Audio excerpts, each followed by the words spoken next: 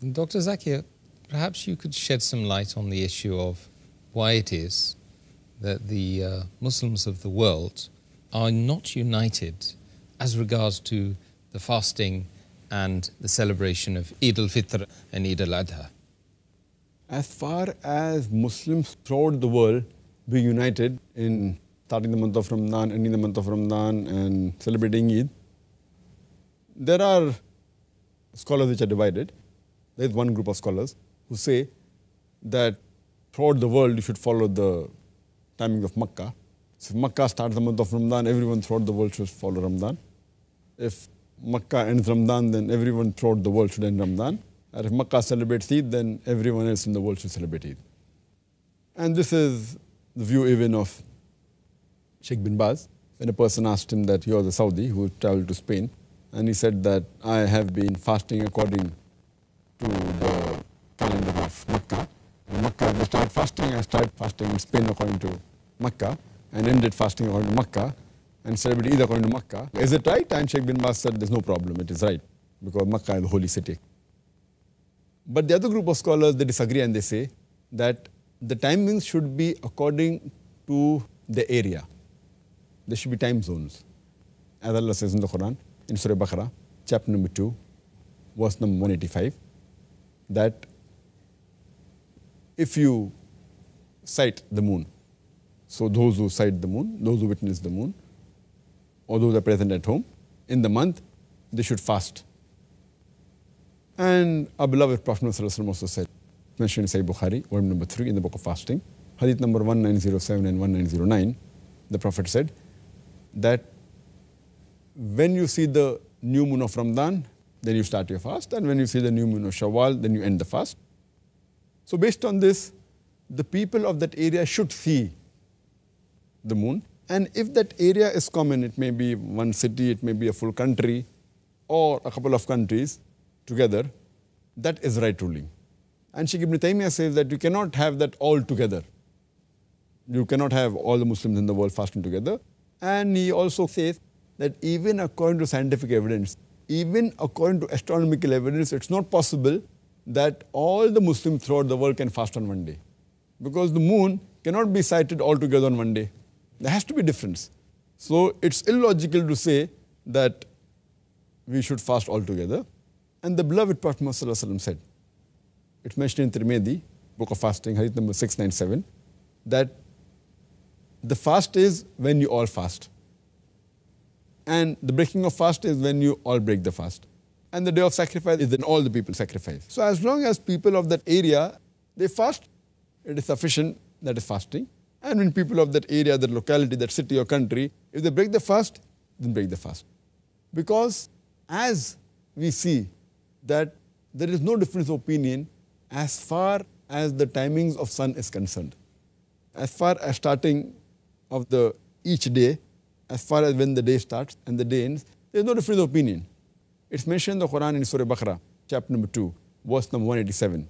It says that eat and drink until the white thread of dawn is distinguished from the black thread, and fast till the night falls, until the sun sets. So here, in each part of the world, the sun sets earlier. That does not mean because in Malaysia the sun sets earlier, in Bombay I will end my fast earlier. So that means the people in Makkah also should end it early. And if in the Western world the sun sets a bit late, I'll also end my fast late. There is unanimous agreement throughout the world that you have to follow the timing of the sun according to your local timing. If the sun sets in your area, then you stop fasting and you can eat. If the dawn breaks in your area, then you stop eating and you start fasting. There is no difference of opinion. So as we follow the sun, we should even follow the moon the same way. Imagine if we celebrate Eid, if the new moon of Shawwal is sighted in Makkah, and we celebrate Eid, maybe in America, in the West, the moon may have been sighted one day earlier. That means they have to celebrate Eid one day later. And in Pakistan or India, the new moon will be sighted one or two days later. So does it mean that they have to celebrate Eid in the month of Ramadan? And imagine those people, if they're for a Makkah timing, they'll have to fast even on the day of Eid. in America, where the moon maybe it's seen Monday earlier. That means they will have to fast on the day of Eid, which is haram. Prophet said you cannot fast on the day of Eid. So here we realize that we have to follow the same rule as we follow for the timing of the sun. Otherwise there will be a big chaos and it will not be practically possible. And many people who say that, you know, how is it possible that, you know, Muslims in different parts of the world have Eid on different days? It's normal. We are used to having different timings in the sun. The morning time, when it's daytime in India, it is nighttime in America. We don't say, oh, how is it nighttime there and daytime here? When it's night time here, it's daytime there. We don't say, oh, what a stupid thing that people are united, because that's the way it is. The timings of the sun differ. And the timings of the sun in the full world, it differs by 24 hours. Zero minute to 24 hours. It depends upon which longitude is your area. If it is the same longitude, then the timing would be same. And the world is divided into 360 degrees, 360 longitudes. Each longitude, it differs by 4 minutes. So if you travel by 15 longitudes, then there will be a difference of 1 hour. So 360 multiplied by 4 comes to 1440 minutes. That's equal to one full day. So the world is divided into time zones. Now, just for the betterment, for ease, what we do, that though India has got more than 15 degrees longitude, yet the time is common. They take a center point and they say whether it's Bombay or Gujarat, one end of India, or whether it's Assam, the other end of India, the breadth, yet they follow the same timing. They take the central time. But in countries like USA, the width is much more. It is more than 30 degrees. The timing may differ than more than two hours, but they have approximately four time zones. The time in Los Angeles is two hours earlier than the time in New York. So it differs. So there it will be, imagine, person phones from New York to Los Angeles, and he wonders that they're there two hours earlier, but this is how the time zones are divided. And people are living with it. The same way people fail to realize that as far as scientific evidence for moon is concerned, the new moon can differ by one or two days. It is scientific. It's not possible that the new moon can occur throughout the world on the same day. It's not possible. It is unscientific. And I had just spoken to a scientist who was specialized in the field of astronomy, just London had been there.